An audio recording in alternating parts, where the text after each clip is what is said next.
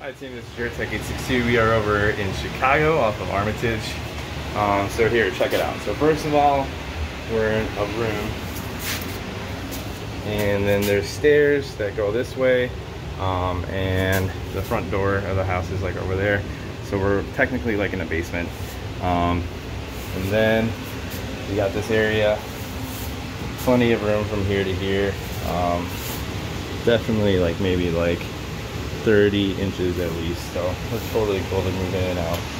Now return drop situation in here of space is not the greatest plus the return is all jacked up anyway. So I want to take this return out.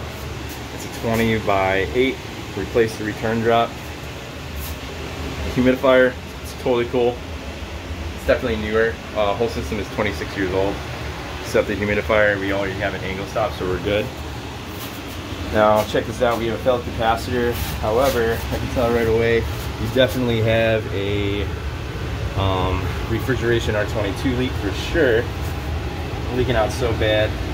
And uh, I believe the heat exchanger is probably overheating, failing. Inducer motor looks like it's probably failing. Um, got all this over here.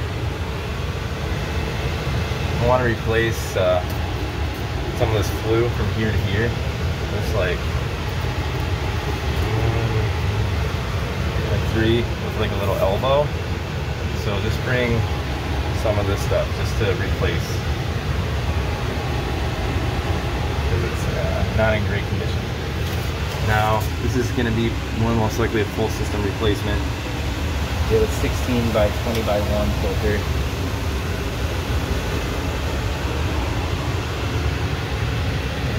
11 by 8. We got a hard turn with the with the um, line set, but it's actually like a 90 degree tube, so we're cool on that. Um, we're gonna keep the line set. Um, this is just here because the insulation um, just ripped, but the line set looks like it's probably fine. Um, we'll just do a pressure test like we normally do.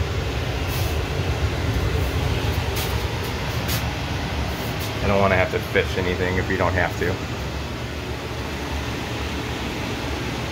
Alright, this is Duratech 862 out.